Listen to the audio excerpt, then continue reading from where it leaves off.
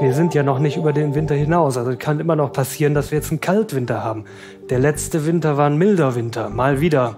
Es kann auch wieder so kommen, nur wir sind noch nicht gewappnet für die bitteren kalten Tage. Wenn wir zum Beispiel zwei Wochen Kälteperiode haben, eine sibirische Kälteperiode, dann, dann kann es nochmal richtig knapp werden und dann springen die Preise auch wieder in die Höhe. Wir haben ja jetzt die Gaspreisbremse und, äh, und damit einen, einen gedämpften, gedeckelten Preis gesehen für die Verbraucherinnen und Verbraucher, die sich eventuell auch über einen schönen Sommer hinweg und die Tatsache, dass wir eher über Feuer in Griechenland als über Kälte in Europa gesprochen haben, vielleicht auch eher an die, an die Idee gewöhnt haben, dass das alles wieder normal ist. Also ob diese auf Individualebene existierende Einsparung so bleibt, das wissen wir nicht.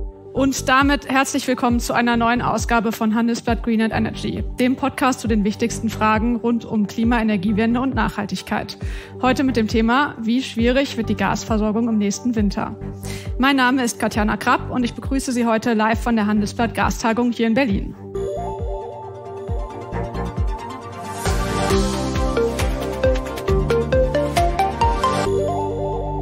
Ja, und letztes Jahr gab es um diese Zeit oder als so langsam der Winter begann, ja schon so die ersten Diskussionen darum, und drehen Sie schon die Gasheizung auf? Drehst du schon die Gasheizung auf? In meinem Bekanntenkreis gab es da regelrechte Wettbewerbe, wer so am längsten durchhält, ohne die Heizung aufzudrehen, um möglichst viel Gas zu sparen. Denn die Appelle waren ja im letzten Jahr schon relativ dramatisch, eben weniger zu heizen, kälter zu duschen. Und jetzt stellt sich natürlich die Frage, wird das dieses Jahr wieder so? Es sieht ja eher nicht danach aus. Oder kriegt die deutsche Wirtschaft und die deutsche Politik die Energiekrise allmählich in den Griff? Und über diese Frage spreche ich jetzt zum einen mit einem Mann, den Sie vorhin schon kennengelernt haben, nämlich mit Andreas Goltau, dem Direktor der Willy Brandt School of Public Policy an der Uni Erfurt und außerdem mit einem Energieanalysten, der sich extrem gut mit dem Gasmarkt auskennt, mit dem Head of Energy Analytics bei ICES, Andreas Schröder.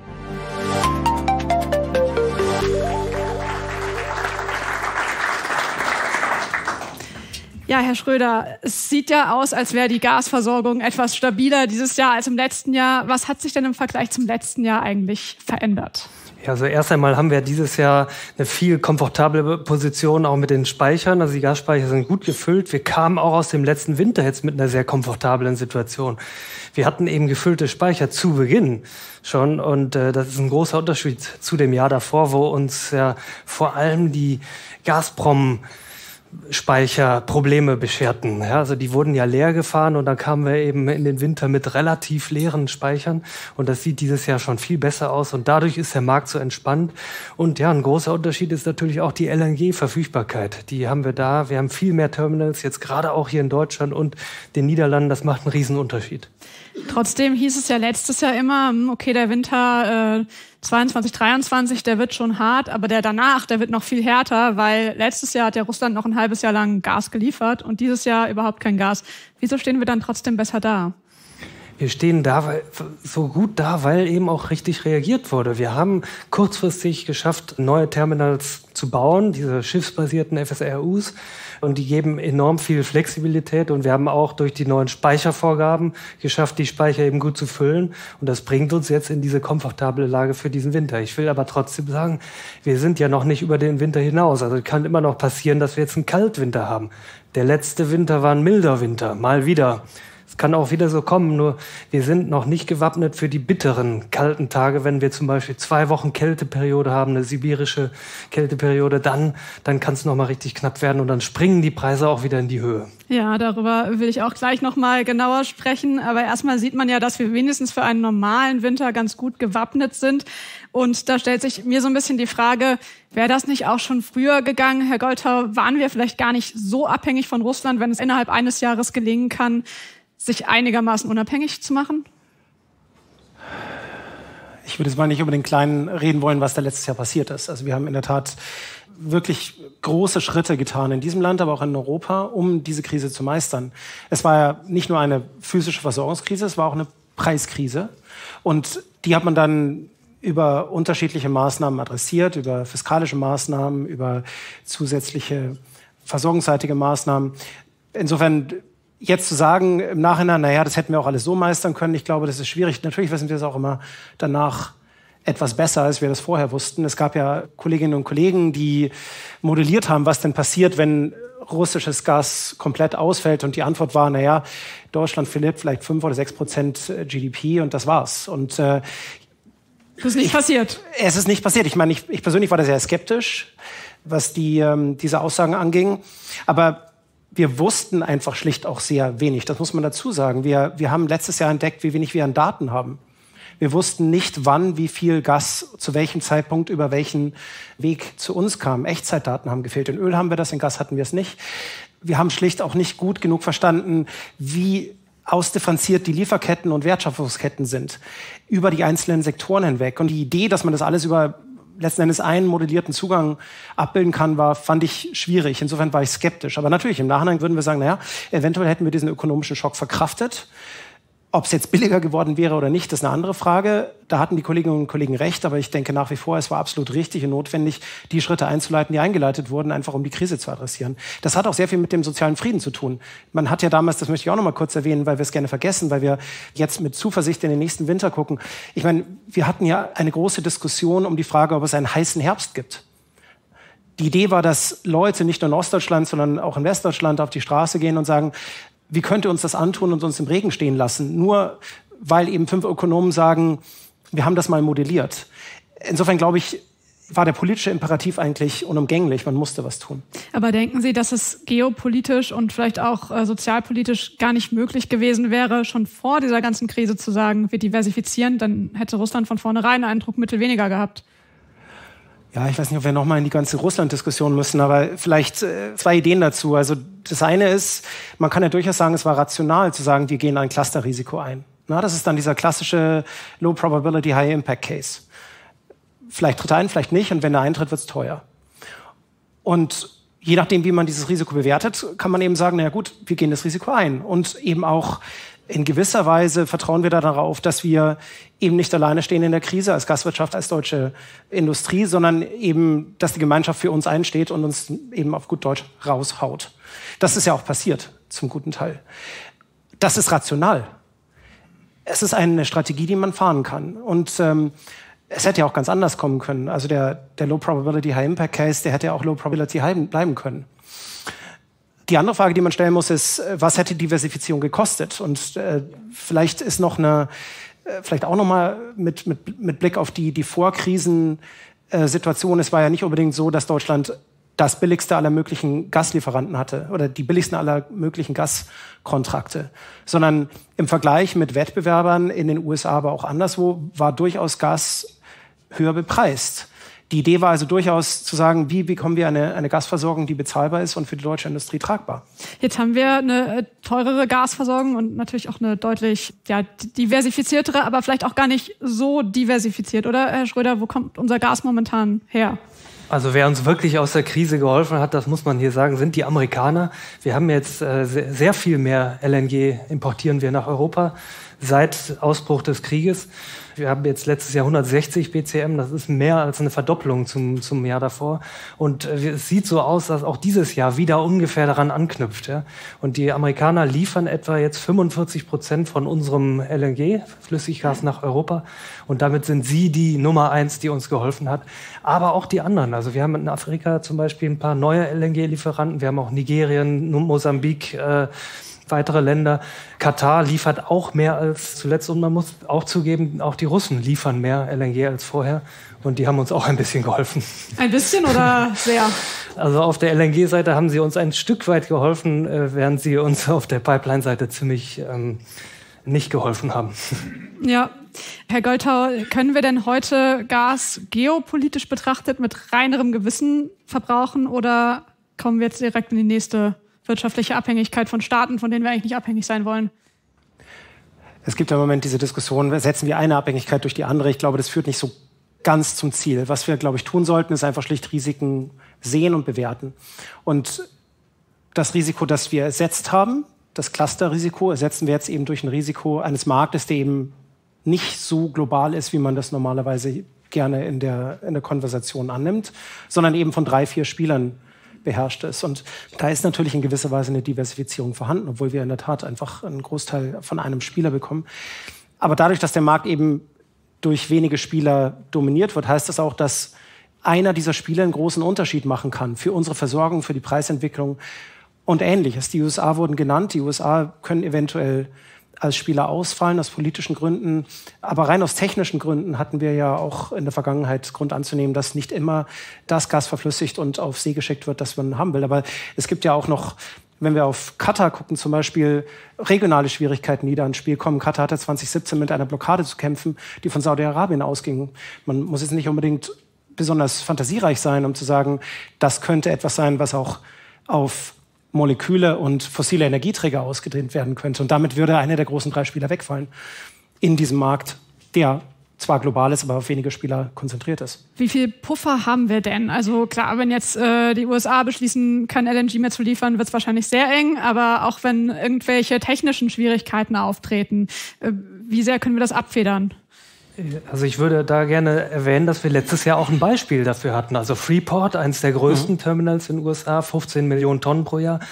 Äh, das äh, ist ausgefallen äh, für mehrere Monate aufgrund einer Explosion. Ja, und das macht dem Markt zu schaffen. Also die Preise reagieren sofort darauf. Wir haben jetzt auch wieder das Beispiel vor zwei, drei Wochen mit den Ankündigungen und den Gerüchten zu Streiks in Australien, also einer ganz anderen Weltregion, die dann auch wieder einen Einfluss hat auf die europäischen Preise. Wir sehen jetzt eben, wir ersetzen unser bisheriges stabiles Gas durch Flüssiggas und dieses Flüssiggas ist eben auch volatil. Und wir werden das als Europäer, vor allem als Deutsche, dann auch jetzt mehr zu spüren bekommen, dass diese Volatilität sich dann auch in den Preisen spiegelt. Und wie sehr helfen uns dabei die Gasspeicher? Das heißt immer, die Gasspeicher sind jetzt zu rund 95 Prozent voll. Das ist ja schön und gut. So voll waren sie so schnell, jedenfalls in den letzten Jahren auch nicht.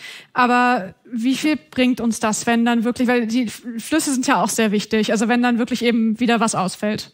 Also die Gasspeicherbetreiber sind jetzt erstmal froh, dass sie überhaupt mal wieder eine Marge machen. Das ist schon mal gut. Also die helfen uns enorm. Die Gasspeicher sind extrem wichtig und wir können froh sein als Europa, dass wir so viele davon haben. Zum Beispiel China oder auch andere Regionen, die haben die nicht und die müssen dann im Winter eben reagieren, äh, weil sie nicht puffern können. So und äh, wir bauen aber diese Speicher auch nicht aus. Derzeit gibt es da keine großen Planungen. Wir haben die sogar eher geschlossen in den letzten Jahren. Und das Problem ist, die Speicher können dann eben an einem kalten Wintertag oder einer kalten sibirischen Woche, können die eben auch nur ein Drittel schaffen. Der Rest muss dann kommen aus Norwegen, nochmal wieder ein Drittel und dann muss der letzte Drittel muss dann eben punktgenau, terminlich genau durch LNG-Schiffe abgedeckt werden. Und da schafft man sich natürlich dann auch eine gewisse Unsicherheit, schafft man dann die Logistik so zu arrangieren, dass die LNG-Tanker genau zu dem Zeitpunkt kommen. Wie kalt darf es denn werden, damit es noch klappt? Ich mache keine Temperaturprognosen jetzt für den Winter, aber äh, wir, wir, kennen das Phänomen. Aus, fast jeder Februar hat äh, mindestens zwei Wochen diese Kaltperiode, wo dann auch kaum Wind ist, kaum Sonne und so, wo dann auch die Gaskraftwerke richtig angehen und das ist immer so die kritische Phase. Und da will ich jetzt nicht von Gradzahlen sprechen, aber die gibt's eigentlich fast jedes Jahr. Auch in milden Winter gibt's immer wieder die ein, zwei Wochen irgendwann. Und das heißt de facto wahrscheinlich nicht Gasmangellage, das heißt de facto aber wahrscheinlich extrem hohe Preise an einzelnen Tagen. Da, davon ist auszugehen, aber wenn der Markt liquide ist und klug agiert, dann äh, kann man sowas schon antizipieren auf der Terminkurve oder eben durch Speicher puffern und eben LNG-Tanker auch pünktlich bestellen. Jetzt war es ja auch so, was im letzten Jahr extrem geholfen hat, war, dass es extrem große Gaseinsparungen gab, also im Gesamtjahr 14 Prozent und wenn man sich die zweite Jahreshälfte anguckt, sogar mehr als 20 Prozent Einsparung. Aber das war ja auch nicht nur, weil wir alle uns so vorbildlich verhalten haben, sondern weil Gas eben so teuer war und weil es zum Teil Insolvenzen gab, weil zum Teil Produktionen zurückgefahren wurden, weil sich auch Unternehmen das Gas einfach nicht mehr leisten konnten. Das ist ja eigentlich kein wünschenswerter Zustand. Herr Goldhauer, was würden Sie sagen, wie nachhaltig sind denn diese Einsparungen? Ja, das ist eine gute Frage. Ich meine, das war in der Tat bemerkenswert, wie viel Gas eingespart wurde letztes Jahr von Individuen, Haushalten und, und Unternehmen. Aber wenn, wenn ich das mal kurz aufdrösele, wir wissen bis heute nicht, warum Individuen Gas wirklich eingespart haben. Denn klar antizipierte man sicherlich als Haushalt, was der Gaspreis potenziell für das verfügbare Einkommen bedeutet. Aber richtig zu spüren bekam man es erstmal nicht. Denn der Gaspreis war gebunden mehr oder weniger an den wie auch immer gearteten Vertrag, den man mit einem Versorger abgeschlossen hatte. Und gleichwohl wurde eingespart. Also dann kann man dann trefflich darüber streiten, ob das jetzt Informationskampagnen oder was auch immer waren. Aber man weiß es nicht. Ich würde vielleicht sogar noch ein größeres Fragezeichen drüber machen, denn wir haben ja jetzt die Gaspreisbremse und, äh, und damit einen, einen gedämpften, gedeckelten Preis gesehen für die Verbraucherinnen und Verbraucher. die sich eventuell auch über einen schönen Sommer hinweg und die Tatsache, dass wir eher über Feuer in Griechenland als über Kälte in Europa gesprochen haben, vielleicht auch eher an die, an die Idee gewöhnt haben, dass das alles wieder normal ist. Also ob diese auf Individualebene existierende Einsparung so bleibt, das wissen wir nicht. Und da sind dann viele Kolleginnen und Kollegen dran, die, die über Behavioral Sciences und Experimente versuchen, das zu verstehen. Aber vielleicht noch ein Wort kurz zur Industrie. Ich kenne nicht die genauen Zahlen, aber jetzt nehmen wir mal an, ein Drittel dessen, was an Einsparungen passiert ist auf Industrieseite, ist wirklich Demand Destruction. Das heißt also Sektoren, die weg sind und nicht mehr wiederkommen. Das könnte ungefähr hinkommen. Dann heißt es ja immer noch, dass zwei Drittel zurückkommen können. Und die Idee, dass die Industrie bei einem TTF-Preis von 35 Euro die Megawattstunde im Moment, gut, das ist nicht der einzige Preis, den, den, Sie anschauen, aber dass sie dort auf den Einsparungen beharren, die wir letztes Jahr gesehen haben, die halte ich für etwas gewagt. Insofern würde ich vielleicht nicht die Prognose wagen, aber vielleicht doch mal in Raum stellen wollen, ob die Einsparungen, die wir letztes Jahr gesehen haben, in einer akuten Krisensituation mit einer klaren Kommunikationsstrategie der Bundesregierung und der Europäischen Union und mit diesem Damoklesschwert einer, äh, einer, einer, eines möglichen Bankrotts, wenn man zu viel Gas verbraucht, dass diese Einsparungen weiterhin so Bestand haben werden wie letztes Jahr. Also es kann passieren, kann aber auch nicht passieren. Das heißt, so schnell werden wir jetzt jedenfalls nicht unabhängig vom Gas oder jedenfalls nicht in der Fläche. Wie würden Sie sagen, wie wichtig sind noch Langfristverträge, die wir zusätzlich zum flexiblen LNG schließen? Ich persönlich denke, dass angesichts der Risiken, die wir mit einem globalen LNG-Markt haben und die Unwägbarkeiten, die damit einhergehen auf der Angebotsseite, aber auch in anderen Nachfrageregionen wäre es wichtig, schlicht zu hatchen. Und äh, die Kurzfristverträge, die sind natürlich wichtig gewesen, auch letztes Jahr, aber sie können teuer werden, wie wir gesehen haben. Und äh, die Langfristverträge sind eben Teil dessen, was in diese Hedging-Strategie mit einfließen muss. Das tun Unternehmen, nicht alle und nicht alle im selben Maße. Meiner Meinung nach wäre es wichtig, vielleicht noch skalierter zu denken und vielleicht noch eher zu versuchen, die deutsche Gastwirtschaft als Teil einer europäischen Strategie eher noch in so einen Portfolioansatz zu bringen. Das haben wir in Deutschland noch nicht. Und es könnte gerade mit Blick auf, auf die nächsten Jahre, die ja doch volatil werden, wichtig sein, so einen, das quasi als, als Hedging-Strategie zu fahren. Aber Hedgen, das klingt so einfach. Man sichert sich ab über einen langfristigen Vertrag, aber man will ja auch irgendwann weg vom Gas. Also man will sich ja gar nicht so langfristig binden. Na gut, wenn ich jetzt, also ich meine, wenn ich jetzt einen klassischen Portfoliospieler habe, einen Aggregator, wie auch immer man das nennen will, dann ist das natürlich, äh, dann ist da die Frage relativ einfach beantwortet. Dann, dann sagt man, okay, keine Ahnung, Ende der 30er Jahre sitze ich halt auf so und so viel BCM, die ich nicht verkaufen kann. Die verkaufe ich dann eben, sagen wir, nach Südostasien oder wo auch immer sie gebraucht werden. Das heißt also, der aggregierte Ansatz erlaubt ja dann auch eben über Größeneffekte auch eine, eine Hedging-Strategie, die Sinn macht. Im Moment sind wir halt in Europa und Europa stimmt nicht. Total macht das, andere auch. Aber in Deutschland sind wir halt nicht dort. Okay, vielen Dank. Damit danke ich Ihnen beiden für die Diskussion und äh, ich bedanke mich auch nochmal beim Publikum, sage vielen Dank. Und das war Handelsblatt Green and Energy für diese Woche live von der Gastagung in Berlin. Wenn Sie Fragen, Themen oder Anregungen für uns haben, dann schreiben Sie uns einfach eine Mail an green@handelsblatt.com. Ich bedanke mich für die Produktion und wenn Ihnen unsere Sendung gefällt, freuen wir uns über eine gute Bewertung in Ihrer Podcast-App. Bis zum nächsten Mal. Tschüss aus Berlin. Danke.